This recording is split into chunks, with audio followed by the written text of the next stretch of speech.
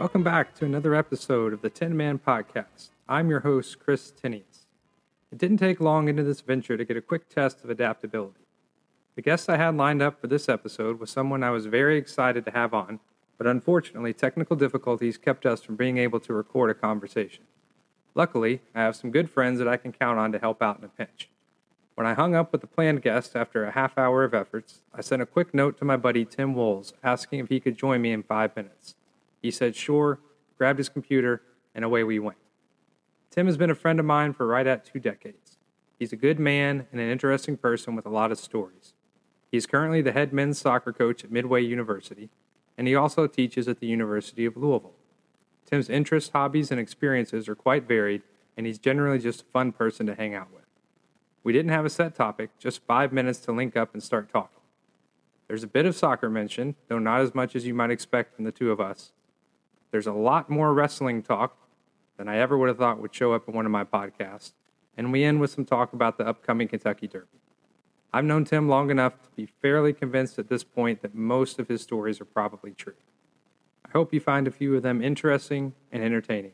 So without further ado, here's our conversation. Hello and welcome to the latest episode of the Tinman Podcast. I am joined here today by Mr. Tim Wolz. He is the head men's soccer coach at Midway University. Um, he's also a professor at the University of Louisville and the host of his own podcast, Tim's Topics, Tidbits, and Tales. I uh, want to thank Tim for joining me today, especially uh, on late notice here. I had um, you know, not not to make him sound second rate or anything, but um, I had uh, had a guest. That's okay, I see up, how this. had a guest set up for this evening who was having some technical difficulties, and uh, just like a, a, good friend would, I, I called him and um, check in, say, "Hey, man, can you hop on in five minutes?" And he was ready to go. So um, bear with us from a nap on a Sunday afternoon. Hey, you know, I'm glad you could get a nap in. So I, I would I would have liked one of those myself, to be honest. But um, yeah, so we're just going to kind of see where this conversation takes us for the next 20 or 30 minutes. And um, hopefully we get something good out of it. And uh, Tim, thanks for joining me, man. Yeah, it's gonna be fun. I enjoy this that kind of stuff. So, hey, let me ask you a question. I'm, I'm gonna, if you don't mind, I'm to start it off. When did we first become friends? Like, I know why because we both played at Western Kentucky, but do you remember when it was? Uh, somebody when, asked me this the other day, and I couldn't remember when it was when did we first meet or when did I decide I actually want to be your friend? Because that might be too well. Yeah. Well, again, this is why I'm a second rate host or guest on your podcast. So, gotcha. so no, we're not, I, we're not sure about that friendship thing yet either. I think it was um, when I was in my fifth year of school at Western. I was living with Ben Berger, who was the graduate oh, yeah. assistant with the men's team there. Um, right and you had some connection to him. I either knew him from Louisville or maybe were coaching his sister or something. I coached his sister, right? Yeah, okay. Jay. Uh, Jay played for me. Um, she was at Bellarmine, and she transferred and played one year with me at Cumberland's. Um, and so yeah, so I I've known them for I knew them for a long time and stuff like that. So yeah, yeah that would I, make sense. And I, I, think yeah, I think that got you in. Um, and obviously you're a Western guy too. Um, and I, I think that got you.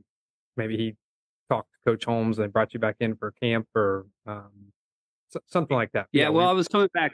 Yeah, it was something like that. I don't think I was actually coming back to work camp, but I came back a, many times to, you know, just hang out with the other guys. And you know, we were. That's the thing about being at Western is I've always said one of the great things about being a Western alumni is that everybody's really still pretty close. Like we're like even no matter what year it was, I can still go back and name a lot of players that played at Western that we were all very similar. We all got along really well and supported each other all through the years. So it was good. Yeah, it was a, a fun culture for the team. Um, I, I don't know that we always put the best soccer out there, but we had a good time trying. we sure did. We had a lot of fun. yeah. So, um, for you know, for for you guys listening to this, like I said, Tim has his podcast, Tim's topics, tidbits, and tales. Um, that he started a few months ago, and um, you know, it honestly was a little bit of an inspiration for me to get started. Uh, it's a, something I had thought about for a while, and use as a way to to catch up with people like this and um, be able to learn a few things and hopefully help other people learn a few things and um, you know listening to a few of yours kind of got that ball rolling a little bit more so um, right. is there anything you want to share about what you've been doing um, with some of your shows no, it's it's, good. I, I, like the fact that a lot of people are jumping in and doing podcasts. I think it's fantastic. It's you know I got started just because it, it's I don't want it to sound morbid or anything like this, but I'm older. I'm 55 years old, and people are always talking to me about writing a book and you know getting all these stories out there. And I thought, well, I'm going to put a podcast together where I can get as many friends as I can. We can all tell as many stories as long as they don't get us in any trouble and we can tell as many stories as we can and i think it's it's great and i think more people should do it and once you started yours the first thing stacy and i said was oh this is going to be really good like this chris is going to chris's personality is made for podcasting like i think it's fantastic so uh, with mine it's basically you know i've got i've done everything from being a college coach to a youth coach to being a parent to uh, being in pro wrestling to I don't know, just traveling the world and recruiting and stuff like that. And I thought I have a I have a lot of stories. And so how what's the best way to get stories out there right now is podcasting. So I've had fun with doing it. I started, you know, Logan and Grace and Davis were all on it for a while, and I've had a couple of my players on it. And um, when we get back in the summer, at the end of the summer, I'm going to get my other players involved in it and stuff like that. And then my pro wrestling fans actually, uh, my pro wrestling friends have contacted me and they want to start telling some stories about the days when we worked pro wrestling. So I thought that'd be kind of fun. But it's just basically a chance to hang out with my buddies and tell stories. Cool. Yeah, so, I mean that's uh yeah, like I said that that's one of the main reasons I want to do it is um I feel like when I was in the coaching world, I um had a lot of good friends. Obviously, they're still friends, but um, it's kind of the same people at the same times every year. Um, and maybe lost yeah. touch with some other people um, that I would have should have stayed in better touch with, and this is a good good excuse to hold myself accountable for kind of starting back through that Rolodex and and catch up with you. Um, so I mean, I, I I know just from our friendship and past conversations a little bit about the wrestling stuff, but not as much as I should, or probably as much as I want to. So, um, give us a little bit of background um, a- about that. All right, so years ago, I have a friend of mine who we were music friends. We worked together at Walmart. His name was John. And he had a really nice camera set up with um, ways to reproduce videotape, stuff like this. And he was also a pro wrestling fan. And he met a pro wrestler who was uh, coming out of ECW. Um, his name was Ian Rotten and he had a local show down off of Dixie Highway in an old Kmart building, and he had just gotten a television contract to put his shows on TV. So him and John got together, and they needed another cameraman. And John said, "Are you interested in doing it?" And I said, "Well, let me go see what it is like." So I went, and loved it. It was fantastic. Just a small indie show with a couple hundred people in the crowd and everything, but the show was really good. So I said I'd do it. So I think it was like every Thursday or something like that. I finished coaching, went down and started doing camera work. And we ended up working with everybody from Jerry Lawler to uh, the Rock and Roll Express to Tracy Smothers, uh, Tommy Rich, Tommy Gilbert, like a lot of pretty big names that are locally known. We're not talking WWE here or anything, but right. Um, and then I ended up traveling around and doing local shows and golly, everywhere flea markets to uh, what they called armories to uh, I mean outdoor shows. It was just it was crazy. And then ended up being friends with a lot of the wrestlers, and it it, it was uh, to me it's probably the most fun time I ever had because everybody knows about the soccer part. The wrestling part is something different. Like it's it's something that not a lot of people can talk about being a part of. So that's yeah. where it all got started. I did it for probably five or six years, and then um, yeah, and then it just kind of fell apart. I think actually, I think after that, I ended up taking a job and moving away. Is I think why I ended up stopping doing it. But cool. It, and something kind of yeah, something kind of like the podcast where you know it was a job and it was something you enjoyed doing, but it was also you know the coaching you're putting all the work and, and sweat into that and then something else to to pique your interest on the side and something that i'm sure was yeah. wildly entertaining with uh, some interesting clientele at times unbelievably entertaining. Did make a dime.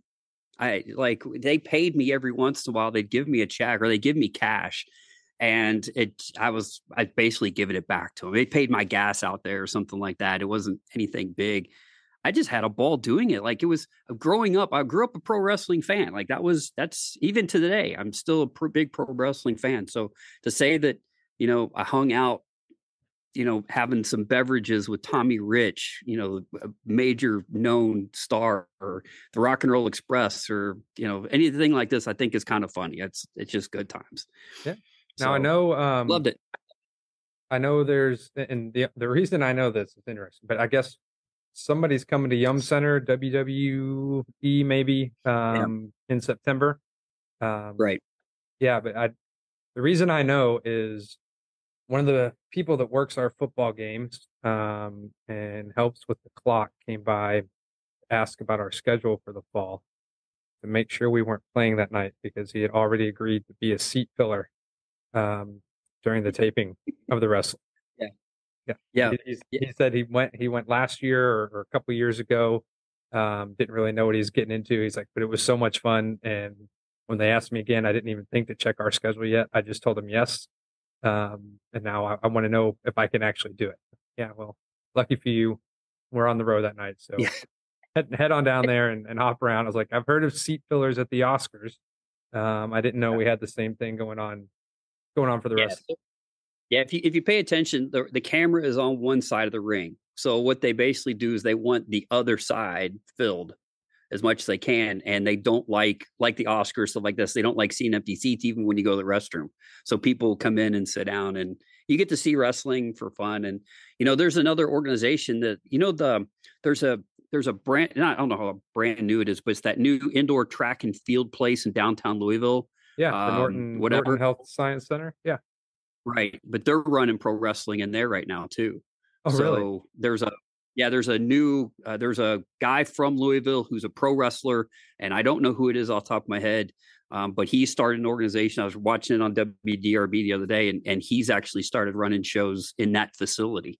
So Louisville's always been known for a big, you know, wrestling. You know, it's Louisville Gardens Tuesday night was huge when I was a kid. You know, so I'm glad to see it back.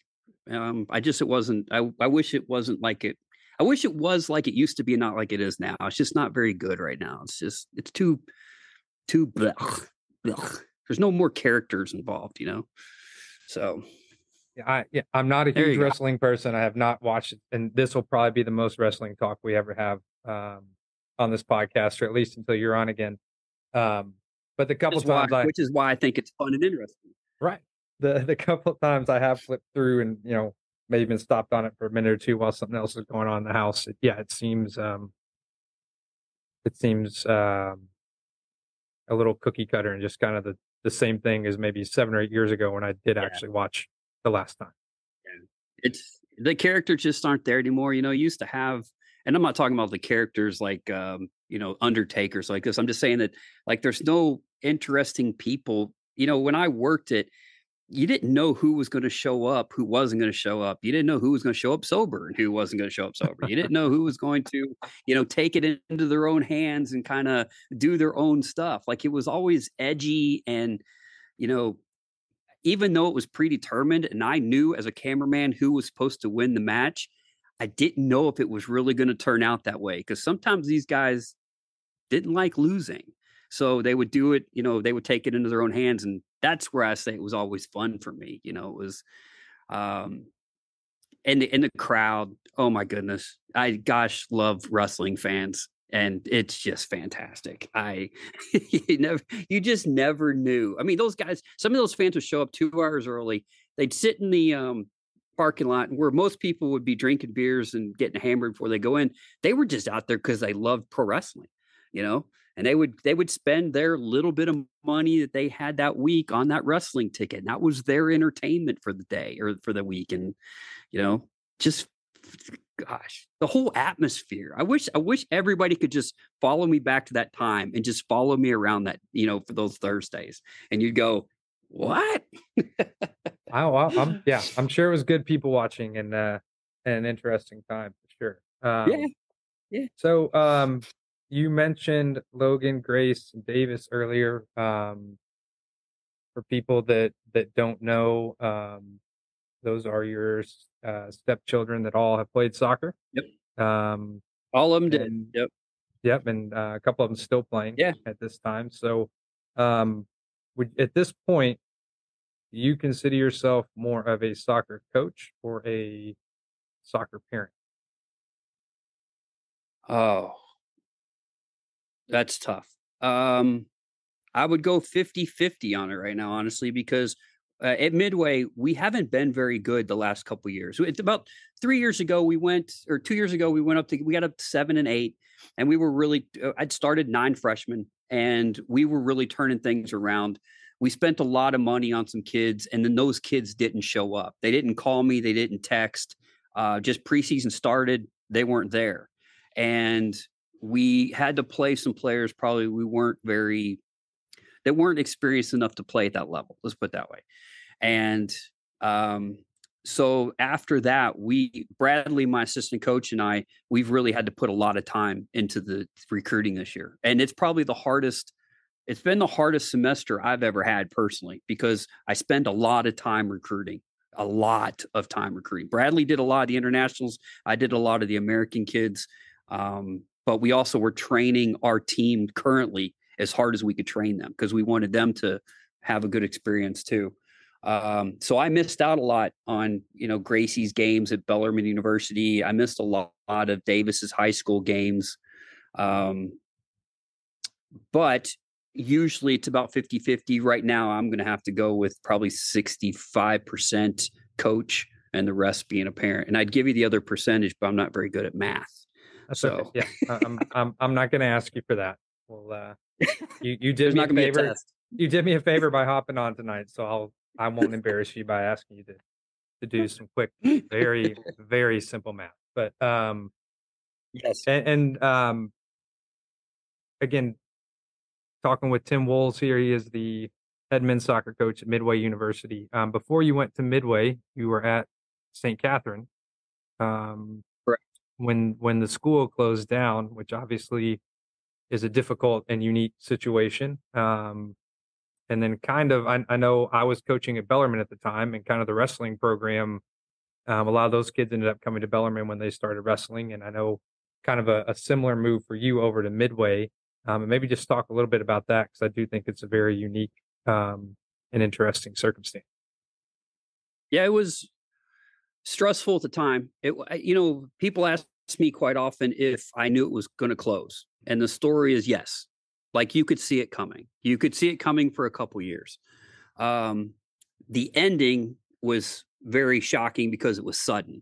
It was like we had a we got an email on Friday. It said on Monday we're going to have a staff meeting uh, to wrap up the year and we had 122 employees and there was maybe 40 people at this meeting on monday.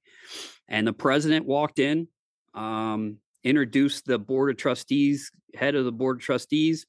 He read some non emotional statement about how at noon it was going to go out to the press that st catherine college was going to close its doors and then I'll never forget there was a professor that was sitting down to my right, and he raised his hand and they said, Okay, you know, uh, we're not done talking, but what question do you have? And he said, Will the kids be able to finish their summer school? If they signed up for summer school, will the kids be able to sign up for, will they still be able to take their classes? And we all looked at him like, they've just announced our schools closing. Like we are all, we are all unemployed and you want to know if the kids good for him for caring about the kids. I'm sitting here thinking to myself where's my paycheck coming from now? Mm-hmm. And then they told us that they were going to pay us through i think they said july 31st i think is this was in may. And they said we're going to pay you through july 31st and then somewhere around let's see oh yes so they that announced on monday. On wednesday the athletic director at midway called me and said hey our school's in trouble here at Midway. Uh, we're going to get ready to close our doors. It's been an all girls school for 169 years. We're going to make the drastic decision to go co ed. Uh, we want you to be the first coach of males in our school history. And they said, You're going to get in some grief for this. They said, We need somebody with a little bit of charisma because you're going to catch grief. We've been an all girls school for 169 years. We've now just decided to go co ed. People are going to come after you a little bit. And I said, Okay, well, let's see what happens. I'm unemployed. Let's take a chance and go anyway. Uh, but we never had any issues. Like everybody was really excited about it. Our school took off. Um, we went from 400 students to almost 2,000 students in six years. Uh, we're one of three small schools that's actually grown. It sounds like my recruiting speech right now, doesn't it? um, but uh, but yeah. So and then they they said, well, we'll start you guys working. Uh, I think August 1st is what they said, and my paycheck bounced the second week of June. Um, at from St. Catherine. That was the St. Catherine. They told us they were going to pay us in the summer. So my St. Catherine. Say, hopefully, paycheck, hopefully not the midway check. That takes a No, lot of no. uh, a lot of faith from you. Right. No, um, the St. Catherine paycheck bounced, and then we knew we were in trouble. And the president came out and said, We're going to start selling stuff, trying to make sure we can make payroll. So they were selling everything on campus. And we knew we were in trouble then. Midway said, Look, just forget it. We'll start paying you. And I started, I started like June 14th or something like that, Midway. They gave me 30 days to put a team together um, they said if you don't have 18 players, then we're not going to have a team. And I sat down. I got 18 players. Four of them never played soccer before in their life, um, and that showed. But we finished third in the conference that year, and then the second year we actually lost in penalty kicks. We were one penalty kick from the national tournament. Wow. So How many? Um, Yeah. How many? How many came from St. Catherine to Midway? Um, seven. All of my internationals came. Um, so we were we were international strong at St. Catherine, and a lot of the guys didn't want to come because, and we carried forty five guys at, at St. Catherine, and a lot of them just didn't want to take the chance of going to another school that was in trouble, and so they all went to you know other schools that were more stable, I guess. Um, but yeah, I think only seven came. The rest of them I had to scratch and claw, and I was calling, I was calling every high school coach that I knew and just said, "Hey, do you have anybody that wants to come, you know, and play?" So and and Midway matched every scholarship from St. Catherine. So Oh, that's um, the, yeah, so the kids didn't have to pay any more or anything like that. So, but it's been good. It's it's much better. I will say that. Like it's St. Catherine was rough. That was a rough place to work. So well, glad you're glad you're in a in a better spot, and you know they say well they say things happen for a reason, right? So, uh, right. You know, Yep. worked out, and yeah, got there and hit the ground running. Um, all right, we'll we'll spend a couple more minutes here. Again, Tim is pinch hitting tonight and doing a great job so far. Um, he's had me talking more about wrestling than I will ever talk again in my life, other than when I talk to him. Uh, we touched on a little bit of soccer. Now, Tim, um, being a Louisville guy, um, obviously we are just less than two weeks away from the Derby. Um, you know, do you have any personal history? You know, did you go to the Derby a lot growing up, or Oaks, or you know, some locals, you know, Derby is a thing now because they want to avoid the track when everybody's coming in from out of town. Uh, but any non-incriminating stories that you might want to share about share about the Derby? Yeah, I I actually love the Derby. I so one of my closest friends growing up, his name was Roy Webster. Me, him, and Bellarmine University's photographer John Summers, who works for Reuters. Um, he used to get us press passes, and we would go and shoot pictures for the Derby. And what we would do is we would be able to use our press passes, press passes all week to do whatever we wanted to do. So I could go to the races all week and walk around, and I could go wherever I wanted to go and everything like that. The only thing I had to do was on Derby Day. I'm the one for about seven or eight years. I'm the one who took the picture of the horses coming around the first turn with the spires in the background. Um, that's almost I think John told me like 80% of the time when you see that picture, I'm the one who took it. And so I would lay basically on the track, wait for the horses to come around. They'd give me a camera and I would just hold the button down. That's all they told me. I said, look, it's all, it all takes pictures itself. All you have to do is make sure that you frame it. And then I just stood there and I held the, the button down for, I don't know, seven, eight, nine seconds, something like that. And then when we were done, I would get up, I would jump the fence, I would run as fast as I could to the um, headquarters of Reuters. I would give my camera to some guy. That guy would sit down, he would go through all my pictures, and then they would put them up on the internet and for people to sell. So, so um, no, a no formal, fanatic. no formal training, just kind of dumb luck. No, no, dumb luck. That's exactly what it was. And, and here's the funny story about it was I like I did it probably five or six years, and they always invited me back every year. You coming back? You coming back? You coming back? Sure, sure, sure.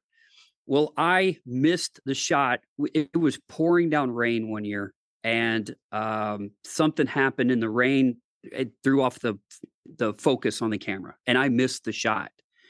And John told me that I cost Reuters somewhere between eight and ten thousand dollars because I didn't get the shot. Good job, man.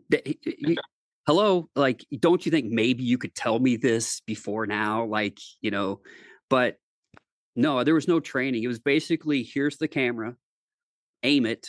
And the first year I got lucky and got it. Second year I got lucky and got it. You know, I didn't know there's I didn't know all this stuff. But we had one friend was up on top of the roof. He he would shoot down uh the straight the straightaway. And then um we had one person in the winter circle. We had one person around the second turn. And uh yeah, we were all just we were all just buddies. We are like we were all just friends. And it I tell you what, boy, I was nervous. My heart would race when those horses would come around, and man, I would I'd get all nervous and a lot more nervous than I am any other time in my life. But yeah, so that's my Kentucky Derby. So I loved it. It was it was good. I still have the pictures. There's some pictures in my office that I took, and um, Very cool. Yeah. Awesome. So yeah, I'm, a- I'm a uh, Kentucky Derby fan. Did you did you watch the uh, fireworks last night? Um, I watched a little bit on TV. Um, we were down in Bowling Green um, for the day and and drove back and got back uh, 9:15, 9:30, something like that. So got the got the boys down in bed, and when I flipped the TV on, it was on. Um, but we didn't go down there. Now, at Yeah, I work on didn't- Friday, I I, got go. I got a good view of the uh, the flyovers at work because we were sitting there and I guess in the path of the practice. So we got to hear the the jets fly over all day. That was the extent of it for That's me. pretty cool. Yeah, the, drone, the drones last night. I thought the drones were fantastic. They went, they had like 300 drones that made all these different shapes in the sky. Uh, fantastic. Like I, I just I love everything about Derby. I love everything from the chow wagons to the fireworks displays to the, like you said, Derby to the Oaks, the whole thing. And I I I and you will be running the marathon, correct? Well, I, I was, but I pulled a thing earlier this week, and it's going to limit my running. Uh, but I'm, I'm hoping maybe if I can get it healed, I can maybe get into it next but it year. won't keep Uh, you from the chow wagon. Okay, I see how that works. No, got it. yeah, got no, it. no. I can I can walk through the chow wagon. I think uh, I don't have to run any place. Okay. So All right. Do you have a Do you have a I ran the mini. I ran the mini one year when I was younger. I ran the mini, um, and that was enough. Really, that was that was enough. Still, still getting your mileage out of that. Yeah, dividing Yeah. that out one mile a year for for 13 years. Uh, have you have you picked out a horse yet? Are you still uh doing a little bit? I of have not. No, like I said, no, like I said, Lenny, my brother's got a horse in the Derby, and I was looking as we were getting online, but I can't, I can't see what the name of the horse is. But he, my brother's got a horse that's actually in the Derby, so I'll put some money on that one. Um, but When you- usually, when you say that, when you say that as a as a part owner, Yeah, he's a part owner. He he's part owner of a company that has a lot of different horses. So they race at Aqueduct and Oaklawn and Keeneland and different places. And one of his horses that's in this company um, qualified. And I think he said it was pre pre Derby odds at like eighteen to one. I think is what he told me the other day. Okay. So I think it's the horse's name is like Mange or something like that, which is a good name for a horse. Um, but I'll put some money on that one, and then I'll usually pick a horse. There is a horse. anywhere There's between. yeah. There's a horse mage. Okay. So yeah, I think that's that's the horse that's that my brother's part owner of. So I'll put money on that, and then I'll pick a horse anywhere between six to one and eight to one, and then I'll bet on the ten. I always I always bet on the ten horse. Yeah. So you won't know who that is for another week till they No, yep do the draw. So- Yeah.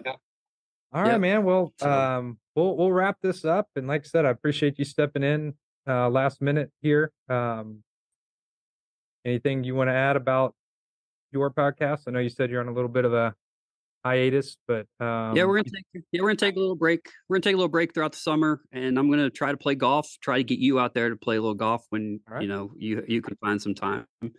Um, but no, it's it's just a fun podcast, just like everybody else. We're not trying to solve the world problems, just trying to give something somebody something to listen to. And if somebody takes something positive out of it, then that's great. You know, when I talk to my kids, I I wanted people to know that you know other people that they're normal and that what they're going through. I'm a big proponent right now of kids having anxiety issues, and I want younger people to know that they're not alone with anxiety issues. That it is we're living in a world right now where yes, there are some anxiety going around, and I, I that's really all I want is is just entertain people and try to put a smile on their face. Well, you've been doing that for years, so it's good to see you uh, have another outlet for it. And uh, thanks again for for taking the time to join me today. Yeah, it's fun. Thank you. I'll come back anytime you you need a uh, fill in. All right, sounds good. We'll get you back. All right. Thanks for having me. I want to thank Tim again for stepping in and joining me on such short notice. We had a fun time, and I'm sure I'll have him on again in the future. In the meantime, you can catch him on his podcast, Tim's Topics, Tidbits, and Tales. Keep your eye out for at least one more episode of the Tinman podcast being posted soon as we move toward the Kentucky Derby. It's almost May, and the excitement is building here in the Bluegrass State. It's time to talk about the doings over at Churchill Downs, and the goal is to get you information from people that know a lot more about it than I do. The song for today would actually be a Beatles song. Sometimes we all just need to get by with a little help from our friends. That said, I'm still doing my best to get Bruce Springsteen on before he starts the European leg of his tour, and I will not give up. Thanks for listening, and I hope you'll catch us again next time.